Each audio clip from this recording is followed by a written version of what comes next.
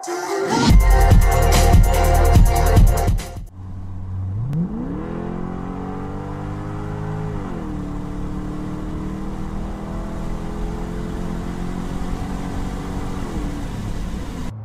I'm on my way back to California. Was up in Seattle for a little while, just a couple days. I uh, was supposed to take a test yesterday, but my alarm clock didn't go off, so I had to reschedule. And I rescheduled this morning and took the test in Olympia. And now I'm on my way back to California. It's been a kind of a crazy couple days. Having uh, very little sleep. Drove all the way from San Francisco area in California, um, all the way up to basically Seattle. The first night I left at midnight and got up there around three o'clock in the afternoon. Um, I stopped in Portland, had some uh, had some lunch with my cousin, which was pretty awesome, and got to see the city a little bit. I've never been actually inside the city, and so that was good. It's kind of like San Francisco. It's um, a little more laid back though, from what I can tell.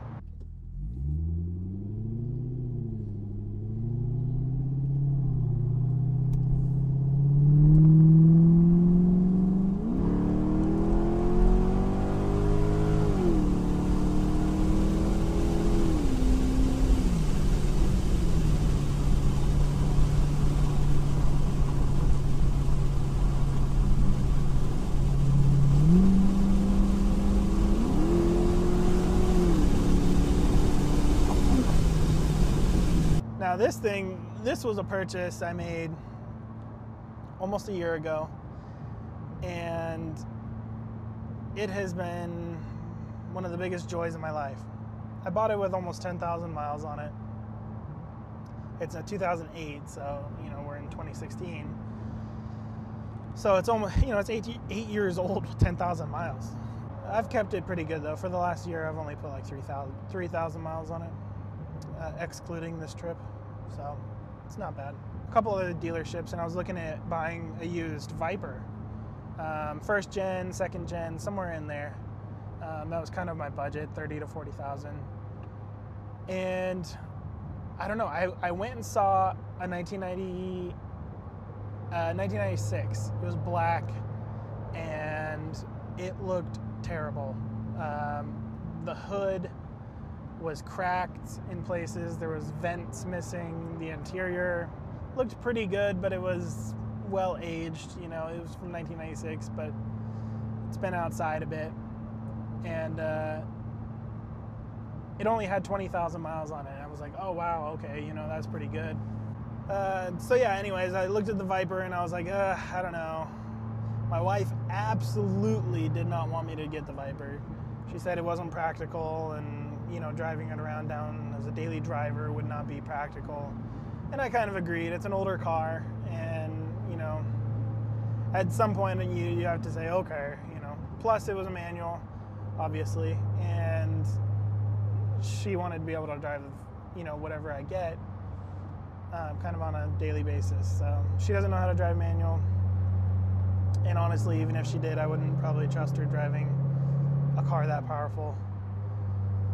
So I went online, I, I looked at like, you know, top 10 car lists and I did all the research I could. And I found, you know, the Corvette. I've never been really a huge Corvette guy. I've never been like really astounded by the Corvette. It's never really interested me, really. Um, they're beautiful cars.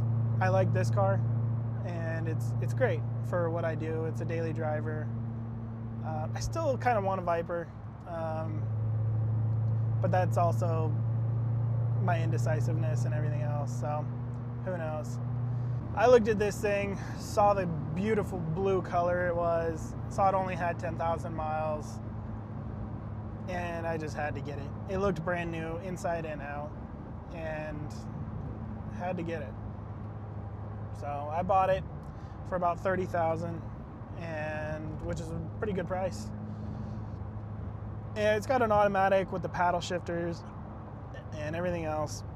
I absolutely, let me tell you, if you want to use a Corvette, even the brand new ones, the C7s and even like the uh, the Cadillac CTSVs, if you want to use the paddle shift or to do things like race, uh, forget about it.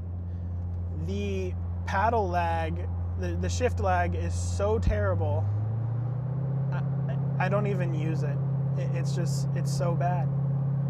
Um, it's fine for like if you're up in the mountains and you kind of want to go through the twisties. Um, it does pretty good, you know, with that sort of stuff. But if you're trying to go fast, quick, and shift through the gears, it it's not going to work. So, what do you guys like? Do you guys like? Uh, I mean, what would you rather get? Would you get like a Corvette? If your budget was say 30, 40,000, would you get a Corvette or would you go out and buy some brand new Ricer like a Evo or a STI or something like that? I'm curious. I'm curious what people